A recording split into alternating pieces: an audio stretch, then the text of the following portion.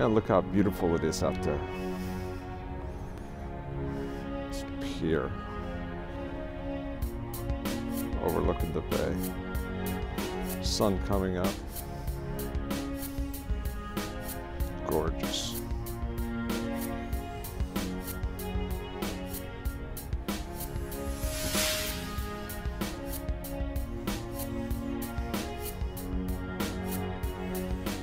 Wow, what a beautiful day at the park.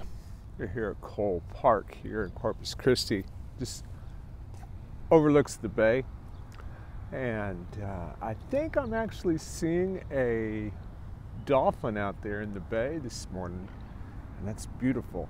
I haven't seen him out here. Of course, it's uh, usually not this calm. You look out there, it's not usually that calm during the day, but uh, today's an especially calm day, and that's great. Hi, it's Russ Hess Open Talk, russhess.com. Hey, just wanted to give you an update where I'm at. I'm going to walk around the park here a little bit as I'm talking to you. And uh, what I've been able to do is a few things. I want to talk to you about a few things that uh, have been going on since the last time I talked to you and uh, that is is that I have worked on reducing some of my debt. Uh, I know we talked about the uh, some of the credit card debt. Uh, haven't worked greatly on that. I do have some plans this month for at least one payoff on on uh, one of my cards, so that's good. That'll give us uh, about a hundred dollars to work with for the next month, and that's a good thing. I do have to pay that off this month. Uh, special promotion going on with that, so that's uh, that's a good thing. Uh, otherwise, I start accruing some interest on that, and so just have to make sure I get that that knocked out. And uh, anyway, there's a, a, few other things I want to talk to you about. I got some uh, advice from Dan Celia from Financial issues.org was listening to his show and uh, somebody who's in kind of the same predicament. Now, he didn't go into all the grainy details, but somebody that's in the same kind of predicament that I am and trying to pay down my credit card debt, trying to pay, you know, get more income coming in. A good, good person as far as I know, well, as far as I know, of course.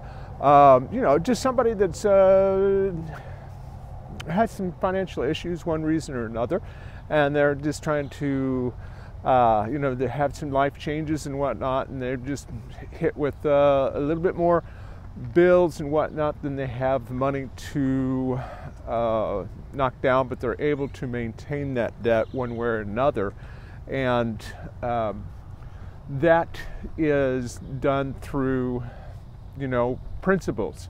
Uh, and as I had mentioned before, the principles are to, uh, you know, start paying your debt, start knocking that debt down to, to some degree, little by little, and snowballing. And this is the same information that I got as uh, I was going through my situation. Uh, and that is is uh, kind of working with uh, that snowballing effect, I guess, if you will, is where you pay one credit card down and you use the, what you would pay on that credit card to for the next month to pay down another bill, uh, or you know some of your revolving credit or loans or whatever the case may be, and that does seem a little bit like little bit, but it does work over time.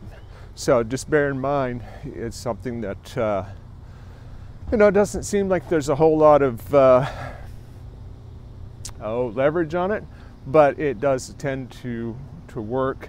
Uh, you just have to be patient with it and nail that down as best as you can. Uh, so that's one thing, and you can look up Dan Celia. He is he's got a ministry that is, uh, and I'm not trying to you know promote anything there. Just saying uh, most of his stuff is offered freely. You can get a membership if you like. Uh, but again, it's Dan Celia and it's with financialissues.org. Uh, you may want to look him up. He's a good resource for you know, just basic information, trying to help out people. And so I'm all about that. That's why I'm doing these videos is, you know, hey, this is what I'm going through. And if I can help you either avoid issues or help you get leverage on your situation, like I'm trying to get leverage, uh, you know, let's hope and have faith together, basically. Kind of band together, band together as brothers and sisters, and see what we can do to kind of help one another if possible. That's the whole purpose here.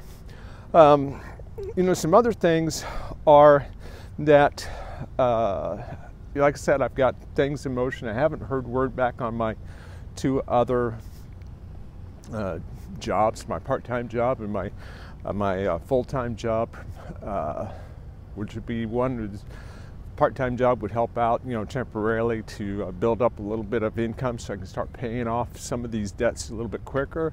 And then my uh, full-time promotion job would be, uh, you know, be good, you know, over time, and that would help out as well. Uh, I won't talk to about those too much more, I think, uh, until they actually start crystallizing and become reality um, yeah, it's just you know it's hopeful at this point.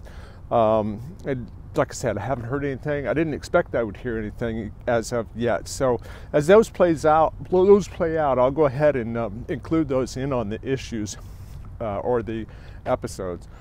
The uh, other things are, you know, I started realizing, and I've heard this guy before. His name's Pat Flynn. He um, started, much like I have, uh, to some degree.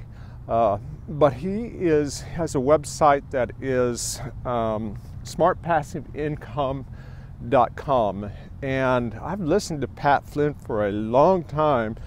I don't think I've actually implemented anything that he's talked about. So what I'm going to do is I'm going to start taking a look at, at his website, and possibly he has he's a podcaster, so he has quite a few uh, free resources out there at his website. Uh, I genuinely think he's trying to help people. Um, you know, from what I've heard before, he, uh, you know, he just if you're willing to work, if you're willing to put the front end work into a passive income, I think you can you can do it. Now, am I promoting these guys because I'm going to make money off of them? No, I'm trying to find every avenue possible to try to get where I need to go. And if that's the case, um, I'm going to start taking a look at, you know, how to do that. Um, it's an avenue. It's something that's going to help. Um, and that's, you know, why not? What else am I doing? You know, um, if something's going to help you and it's, you know, it's good and great and it's, you know, can be a blessing to you, then why not do it? uh, at least research it and find out if it's for you or if it's anything that you can do or anything that uh, you're capable of doing.